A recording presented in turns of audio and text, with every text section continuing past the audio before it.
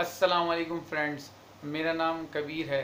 कैसे हैं आप लोग? ठीक ठाक हैं? जैसा कि आप लोग जानते हैं कि मैं आप लोगों के सामने हमेशा कुछ जेन्यन टॉपिक्स और कुछ एक्सपीरियंसेस लेके आता हूँ। तो आज का हमारा टॉपिक है how to face the sarcasm अभी पिछले दिनों आ, मैं एक वीडियो देख रहा था जिससे मुझे एक लेसन सीखने को मिला और मैंने सोचा कि क्यों ना इसको वीडियो को रिकॉर्ड करके आप सब लोगों तक वो मैसेज सुनाऊं। तो दोस्तों, इस कहानी को बड़े गौर से सुनिएगा और समझने की कोशिश कीजिएगा। मैंने जो वीडियो देखी है, उसमें एक छोटा सा बच्चा होता है, जिसमें उसके फादर जो हैं, वो वाइन यानी कि शराब पीने के आदि होते हैं और जो कि एक नेगेटिव चीज़ है। तो वो जो है, अपने घर में रोज़ाना रात में शराब पी के आते हैं तो बॉटल लेके आते हैं। तो वो बच्चा रात में लालटेन में पढ़ रहा होता है। जब बच्चा पढ़ रहा होता है तो वो ये देख रहा होता है कि उसके फादर आते हैं तो उस वेस्टेज को किस तरह यूटिलाइज़ किया जाता है। मतलब कि वो लोग जो हिम्मत नहीं हारते, जो लोग हार नहीं मानते और जो ये नहीं सोचते कि नहीं, हमारे पास पैसा नहीं है, हमारे पास ये रिसोर्स नहीं है, वो उन चीज़ों को पॉजिटिव कैसे बनाते हैं? तो वो मैंने उस वीडियो से सीखा।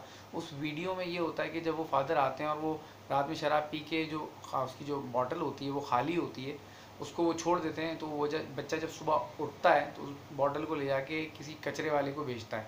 कचरे वाले से उसको मिलते हैं पाँच रुपये उस पाँच रुपये से वो बच्चा फिर एक साइकिल रेंट पे लेता है, जो वहाँ पे साइकिल नॉर्मली उन एरियाज़ में मिल रही होती है। उस साइकिल रेंट पे लेके फिर वो कहता है कि अब मैं क्या करूँ, अब मैं क्या करूँ? तो फिर वो क्या करता है कि वो जो है उस साइकिल से दूध जो जो दूध होता है, उस दूध को बेचता है। जो जो पैक्ड आइटम होते हैं, वो एक जगह फुटपाथ पे देख रहा होता है कि वो बेच रहा होता है वो उसके पास जाता है और उसको बोलता है कि मैं ये बेचना, सप्लाई करना चाहता हूँ उसी एरिया में।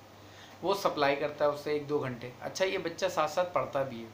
फिर जब ये दूध सप्लाई करके आता है तो उसको कुछ एटी रुपीज़ मिलते हैं। ये एटी रुपीज़ से क्या करता है कि जो जो उनकी कंट्री का जो मैप होता है, उस मैप को परचेज़ करता है।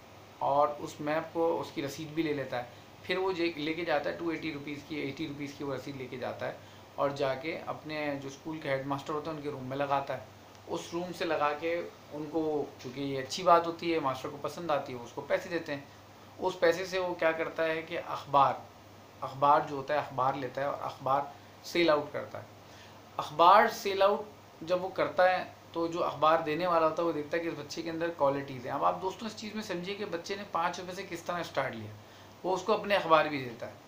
वो अखबार जब बेचता है तो अखबार बेचते बेचते उसके बाद चार सौ रुपये हो जाते और फिर वो चार सौ रुपये से क्या करता है कि जब उसको चार सौ रुपये मिलते हैं तो वहाँ पे जो मतलब स्टेशन के पास होते हैं, वहाँ पे कुछ लोग होते हैं, उनसे वो जो लोग चाय पीते हैं, उनसे वो दूध डलवा के, चाय बना के, एक थर्मोस खरीद के और कप डिस्पोजेबल लेके स्टेशन पर्सन टू परसेंट जाके बेचता है। जिससे उसकी शाम में जब वो वापसी आता है तो उसके पास हज़ार रुपये होते हैं।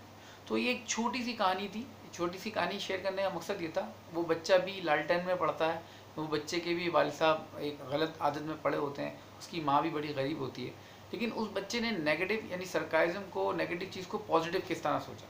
तो मेरा अब इन सब लोगों से जो लोग ये नेगेटिव होते हैं या कोई काम स्टार्ट करना चाहते हैं, वो ये समझते हैं कि नहीं, हम ये काम नहीं कर सकते, हमें तो पहले ये होना चाहिए, पहले ये रिसोर्स होनी चाहिए। जो लोग ये सोचते हैं, वो सोचते ही रहते हैं। और जिन्होंने स्टार्ट करना होता है, वो एक वेस्टेज वाली चीज़ से भी स्टार्ट लेते हैं। तो आज का मेरा यही आप लोगों को मैसेज था। तो अगर आपको मेरी ये वीडियो पसंद आए तो बर मेहरबानी लाइक कीजिएगा। Thank you so much